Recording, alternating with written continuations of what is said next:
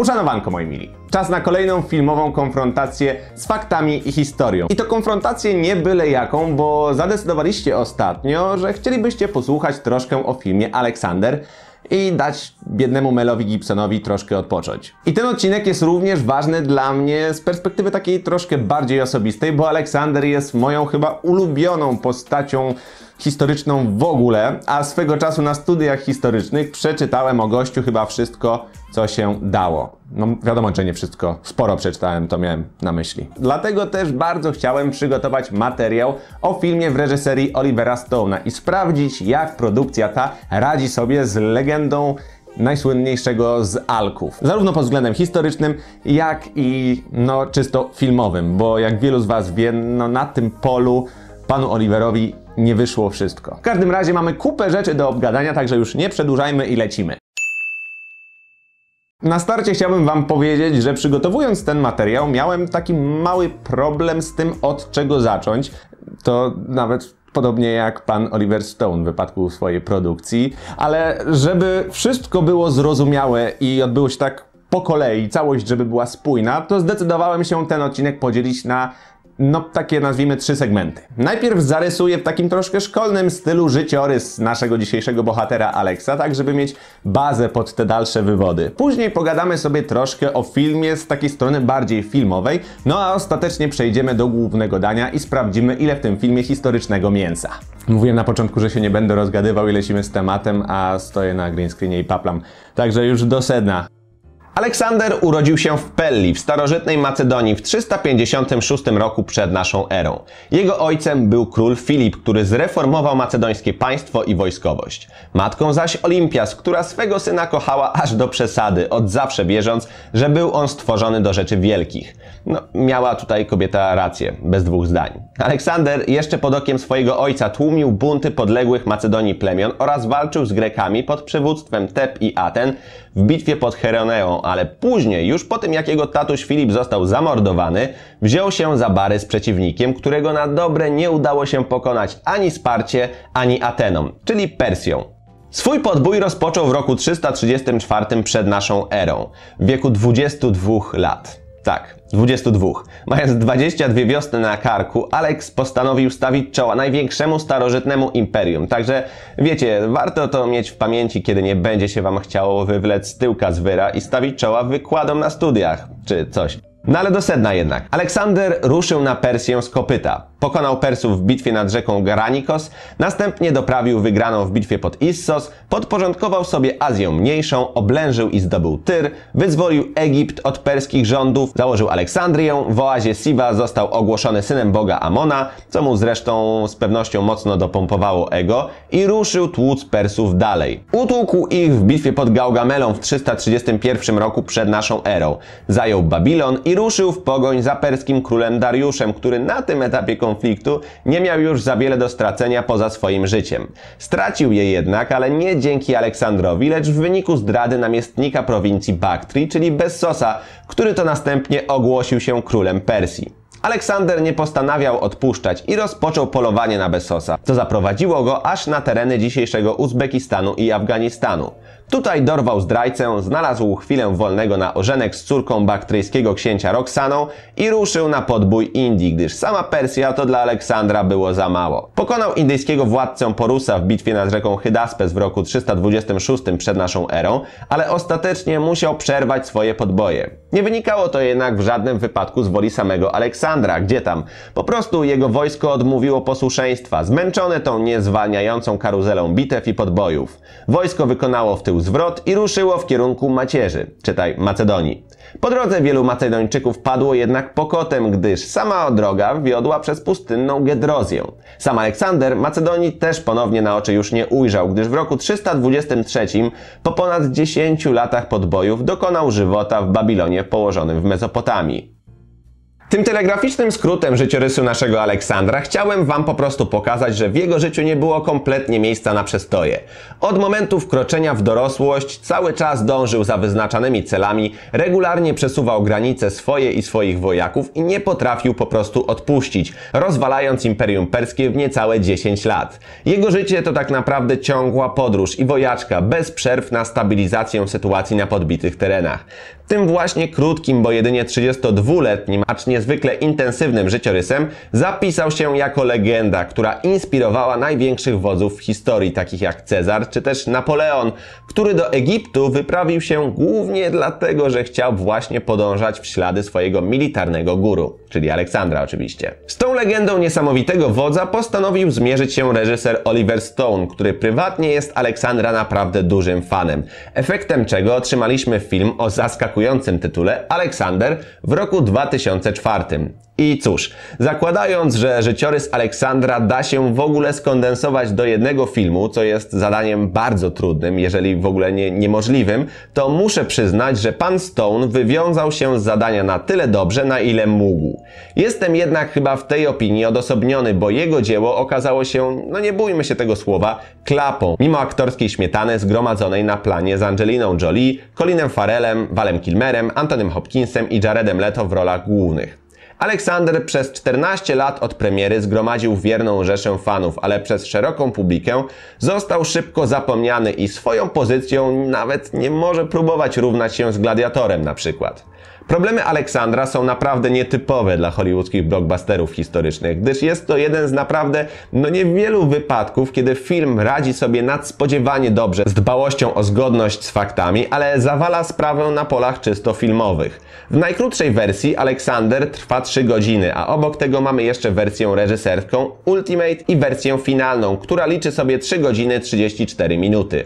Aleksander jest więc filmem naprawdę długim, a żeby w wypadku kina historycznego utrzymać uwagę masowego widza, trzeba naprawdę dobrze manipulować tempem akcji, co Oliverowi Stone'owi wyszło co najwyżej średnio.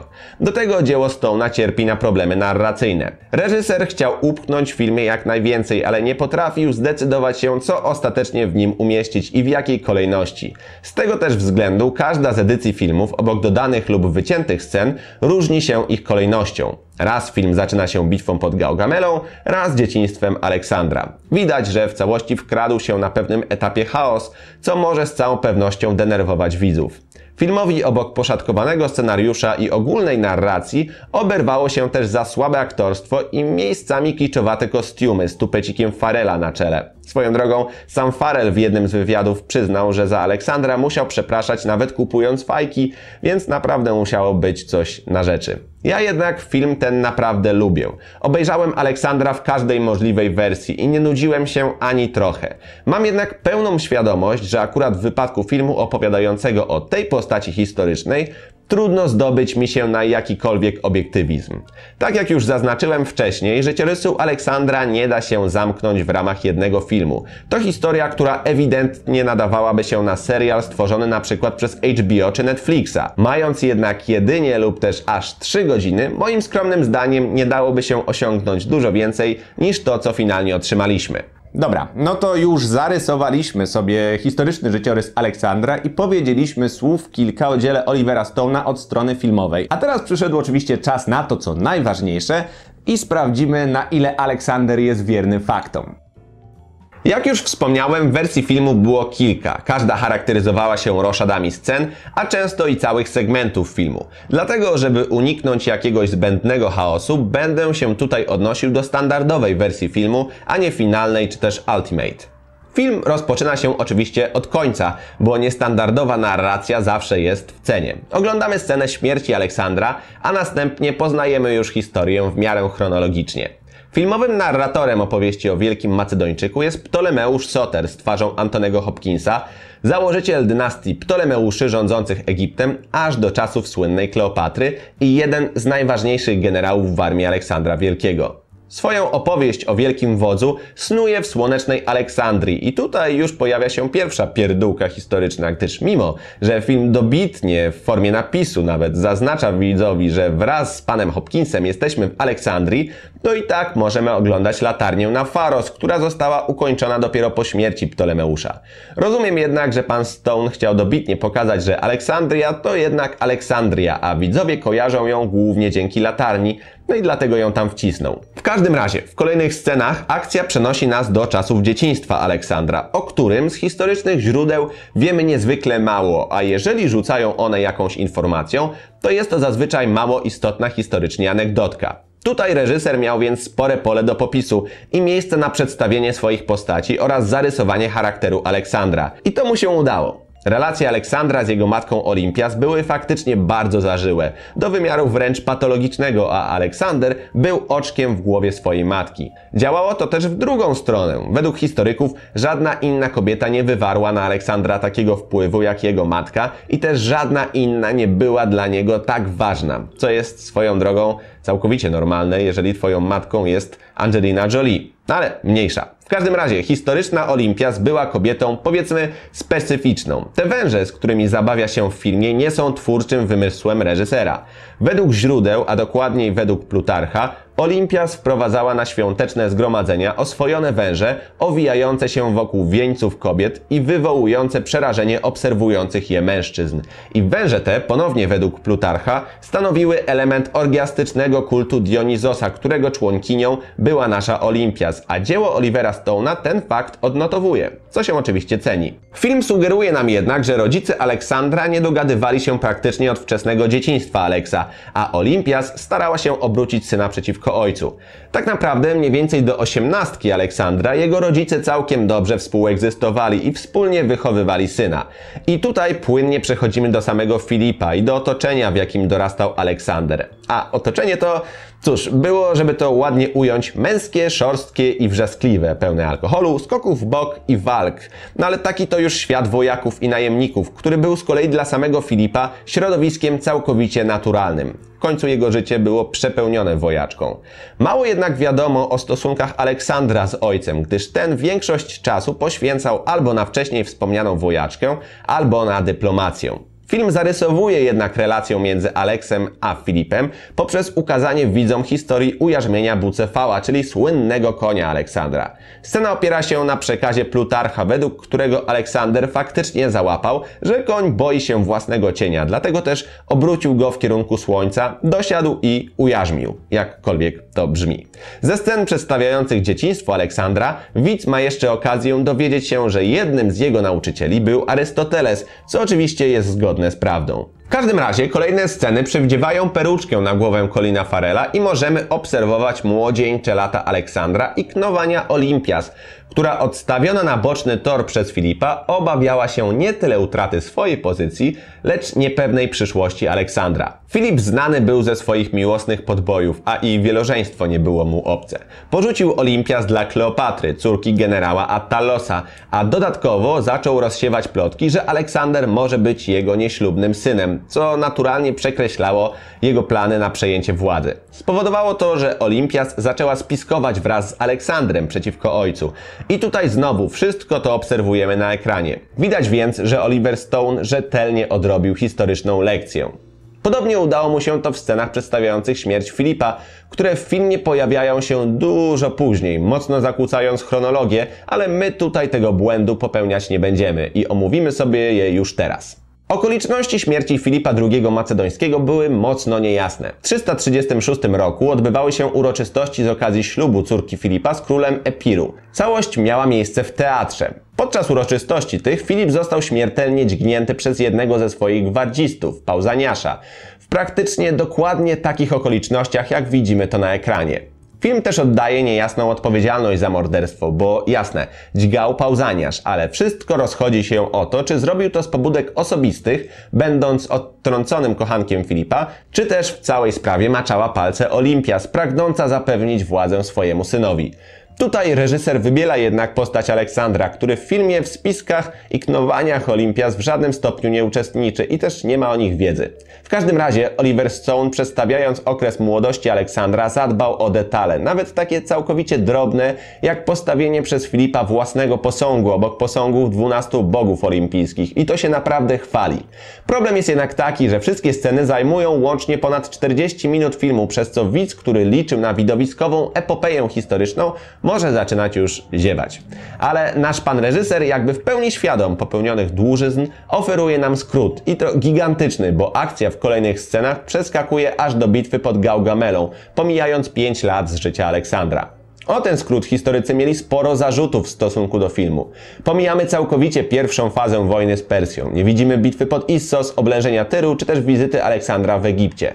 Część scen pierwotnie znalazła się w scenariuszu, ale na ekran nie dane im było trafić. Z życiorysu Aleksandra trzeba było wyciąć dużo. W wypadku filmu nie było po prostu innego wyjścia. Całą wojaczkę w Azji Mniejszej można było pominąć na rzecz epickiej bitwy pod Gaugamelą, ale szkoda, że nie dano nam możliwości zobaczenia wspomnianej wizyty Aleksandra w oazie Siwa w Egipcie, która dla jego charakteru i przeświadczenia o swojej unikalności czy boskości wręcz miała znaczenie szczególne. Podobnie z oblężeniem Tyru, którego przebieg pozwoliłby nam wejrzeć bliżej w tą ciemniejszą stronę charakteru Aleksandra. Gość owszem, był wielki, ale jeżeli ktoś zaszedł mu za skórę, to okazywał całkowity brak litości. Tak było właśnie w wypadku mieszkańców Tyru, z których cała męska populacja została wymordowana, a kobiety i dzieci trafiły do niewoli. Oliver Stone w swoim filmie stara się nam sprzedać raczej ten pozytywny obraz władcy i zdarza mu się pomijać niewygodne fakty. Wspomina o nich jednak ustami narratora w postaci Ptolemeusza, ale no można było poświęcić im trochę więcej czasu. Zamiast tego obserwujemy bitwę, która zrealizowana jest naprawdę dobrze. Nie tylko jako starcie filmowe, ale również od strony wierności faktom. Nieudany atak perskich rydwanów, zaciekła walka macedońskiej falangi, uderzenie konnicy Aleksandra w centrum sił przeciwnika i zaprzestanie pogoni za królem perskim Dariuszem z powodu ciężkiego położenia części macedońskiej armii. To wszystko miało miejsce, co czyni filmowe starcie pod Gaugamelą jedną z najwierniejszych historii bitew, jakie widziało wysokobudżetowe kino. Obok tego kostiumy i wojskowe wyposażenie ekipy na planie również robi robotę. Tutaj praktycznie wszystko wygląda autentycznie, w czym całą pewnością zasługa konsultantki historycznej Fiony Greenland, która bagatelka ukończyła studia na Oksfordzie. Jedyna pierdoła, do której ktoś mógłby się przyczepić, to hełm Aleksandra, który przynajmniej według źródeł był dużo mniej wymyślny, a pan Stone zdecydował się najpewniej na kształt hełmu przypominającego paszczę lwa, żeby przybliżyć Aleksandra do Herkulesa. Kilka drobnych błędów pojawia się już jednak po bitwie, kiedy Aleksander wkracza do Babilonu, ale wynikają one w dużej mierze ze skrótów, na które musiał pójść reżyser. Jednym z nich jest spotkanie z córką króla Persji Dariusza, Stateirą w Babilonie. W rzeczywistości zarówno Stateira, druga córka Dariusza, jego żona oraz matka trafiły w ręce Aleksandra po bitwie pod Issos, czyli dwa lata wcześniej. Zgadza się jednak to, że tak jak i w filmie, Aleksander potraktował rodzinę króla z należytym szacunkiem. Nie zgadza się za to dialog pomiędzy księżniczką i Aleksandrem, który obserwujemy na ekranie. W filmie Aleksander pyta Stateirę, jak powinien ją potraktować, na co ta odpowiada, że jak księżniczkę. W rzeczywistości taka wymiana zdań miała miejsce pomiędzy Aleksandrem a indyjskim władcą Porusem, który zwrócił się do Aleksandra, aby ten traktował go jak jeden władca drugiego. To są jednak pierdoły, a takich drobnych błędów mogłaby pozazdrościć większość filmowych widowisk historycznych. Kolejne sceny znowu trzymają się faktów. Aleksander koresponduje ze swoją matką, a Persów chce wcielać do armii, edukować i po prostu hellenizować. Dowiadujemy się o śmierci króla Dariusza i obserwujemy wizytę Aleksandra w Baktrii, gdzie bierze on sobie za żonę córkę księcia Roxanę. I tutaj na chwilę chciałbym skupić się na sferze uczuciowej i seksualnej Aleksandra, bo film kładzie na nią ogromny nacisk. Odnoszę wręcz wrażenie, że poświęca temu wątkowi za dużo czasu, gdyż seksualności starożytnych Greków nie da się przypiąć łatki homo, hetero, bi. W wypadku Aleksandra sprawa jest na tyle skomplikowana, że trudno w ogóle jednoznacznie stwierdzić, z kim świntuszył w łóżku. W filmie wiele scen poświęconych jest relacji Aleksandra z Jaredem Hefajstionem Leto. Pewnym jest, że dwójka ta była niezwykle zżyta. Nie mamy jednak pewności, czy na tyle, aby razem figlować w przerwach od walki, gdyż po prostu no nie ma na to dowodów. Nie można jednak tego też wykluczyć. Jeżeli chodzi o Bagoasa, eunucha z perskiego dworu, to tutaj można operować już konkretami, gdyż erotyczną relację pomiędzy nim a Aleksandrem zaznaczają źródła. Obok tego mamy jeszcze Roxanę, która z historycznie stosunkowo biernej postaci w filmie wyrasta na prawdziwie rozemocjonowaną intrygantkę, a sugerowanie, że mogła ona otruć Hefajstiona jest mocną przesadą. Tak czy siak, jedno trzeba przyznać. Emocjonalność i uczuciowość Aleksandra wymyka się schematom i jest na wielu polach tematem debat dla historyków. Oliver Stone podjął próbę przedstawienia tej intymnej sfery życia Macedończyka, ale może trochę za bardzo starał się ją analizować, co ponownie z całą pewnością część widowni może znudzić. Akcja filmu w kolejnych scenach przenosi nas już do Indii i tutaj pojawia się kilka drobnych błędów. Macedończycy przedzierają się przez dżunglę w strugach deszczu. No i fajnie, mamy duży kontrast w stosunku do wcześniejszych partii filmu, ale problem jest taki, że Aleksander walczył na terenach dzisiejszego Pakistanu i północno-wschodnich Indii, które nijak tak nie wyglądają. Sama bitwa nad rzeką Hydaspes w filmie toczy się w gęstym lesie. W rzeczywistości otoczenie starcia wyglądało mniej więcej tak. Falanga w lesie byłaby też średnio użyteczna, ale ponownie rozumiem, że Oliverowi Stone'owi chodziło o kontrę w stosunku do starcia pod Gaugamelą. Mało który film posiada dwie pełnoprawne bitwy, ale jeżeli już wrzucamy dwa starcia do jednego filmowego wora, to powinny się one od siebie mocno różnić i dlatego też Macedończycy Stone'a tłuką się w stumilowym lesie. Podczas kampanii w Indiach wojska Aleksandra odmówiły mu posłuszeństwa. Po prostu nikt nie chciał się dalej bić. Uważano, że nie ma już co podbijać. Aleksander oczywiście sądził inaczej i znowu to wszystko serwuje nam dzieło Stone'a i mógłbym to powtarzać jeszcze dobrych kilka razy, na przykład omawiając kwestię śmierci Aleksandra i jej niejasne przyczyny, które reżyser akcentuje, ale chyba do tej pory już zauważyliście, że ten film jest naprawdę nadspodziewanie wierny faktom, przez co mi osobiście trudno jest się tu czegokolwiek czepiać pod tym względem. Na przestrzeni trzech godzin widzimy jak zmienia się Aleksander, jak cały czas stara się przełamywać kolejne granice i jak z czasem popada w samouwielbienie i w pewnym stopniu traci kontakt z rzeczywistością. Filmowy Alex może sprawiać wrażenie człowieka fimerycznego, łatwo poddającego się emocjom, które momentami ocierają się nawet o dziecinność, co mimo tego, że wydawać się to może odbiorcom męczące, jest w dużym stopniu wierne temu, co o Aleksie mówią źródła. Oliver Stone naprawdę niezwykle mocno przyłożył się do zgłębienia historii Aleksandra i widać, że ta postać faktycznie go fascynuje, tak jak fascynowała wielu na przestrzeni wieków. Nie zmienia to faktu, że film ma naprawdę sporo dłużyzn, przeciągniętych scen, niektóre wątki pomija, a nad niektórymi zbyt długo się pochyla, przez co tak jak zdążyłem wcześniej zaznaczyć, może w oczach widza być najzwyczajniej nudny i nie zmienią tego dwie bardzo dobrze zrealizowane bitwy. Mówi jednak o tytułowym bohaterze tyle, ile się da, a widz, jeżeli nie przyśnie na seansie, po obejrzeniu filmu będzie bogatszy w wiedzę, nawet jeżeli częściowo okrojoną. I to doprowadza nas do kwestii, którą chciałbym na koniec poruszyć. Widzicie, Aleksander poza gronem wiernych fanów i pasjonatów został w dużej mierze filmem zapomnianym. Nikt nie przywdzieje tupecika Farela na imprezę halloweenową. Prędzej ktoś przebierze się już za Leonidasa z 300. No i właśnie, 300. Film, który przez historyków jest krytykowany praktycznie na każdym polu. Nie trzyma się ściśle faktów, posyła do boju chłopaków, którzy na co dzień mogą pracować w grupie stripteaserów Spartans i pozwala sobie na wstawki czysto fantastyczne, ale mimo tego, albo też w dużej mierze właśnie dzięki temu, film 300 kojarzy praktycznie każdy. Abstrahując od całej krytyki, to film ten stanowi po prostu idealny miks popkultury i historii. Jest bardzo dobrą rozrywką, dzięki czemu ta część faktów, którą przemyca, pozostanie części odbiorców w głowie. Wszystko sprowadza się więc do kwestii odpowiedniego balansu pomiędzy wiernością faktom, a faktorem rozrywkowym. Aleksander właśnie na tym polu zawodzi. Jest długi, śmiertelnie poważny i nazbyt melodramatyczny, przez co widzowie zdążyli postawić już na nim krzyżyk.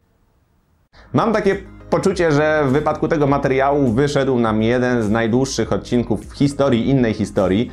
No ale przy Aleksandrze nie chciałem się jakoś zbytnio ograniczać, także dajcie znać, że w ogóle tutaj jesteście i nie gadam do ściany, a raczej obiektywu, bo tam jest okno. Piszcie koniecznie, co wy myślicie o Aleksandrze i czy podoba wam się to filmowe widowisko historyczne, bo w wypadku poprzednich omawianych filmów wielokrotnie zaznaczaliście, no, że to są takie bajki i nie można w ogóle ich traktować na poważnie. A teraz otrzymaliśmy produkcję, która faktycznie na wielu polach sztywno trzyma się faktów, ale można na niej zasnąć. No niestety, taka prawda. Więc chętnie poznam Wasze zdanie na ten temat. A jeżeli oczywiście spodobał Wam się ten materiał, to zachęcam Was gorąco do tego, żebyście zostawili pod nim łapkę w górę i uczynili mój dzień, moje życie, mój tydzień, miesiąc szczęśliwszym. A tym bardziej e, ucieszy mnie, jeżeli jesteście tutaj nowi i pozostanowicie zostawić po sobie subskrypcję na kanale Innej Historii, bo sporo ciekawych materiałów przed nami. O tematyce jednego z najbliższych odcinków możecie zadecydować w kartach w prawym górnym rogu w ankiecie. Znajdziecie tam też dużo innych ciekawych materiałów. I odsyłam Was również do sekcji społeczność, bo tam od jakiegoś czasu zacząłem się mocno udzielać, bo to działa o wiele lepiej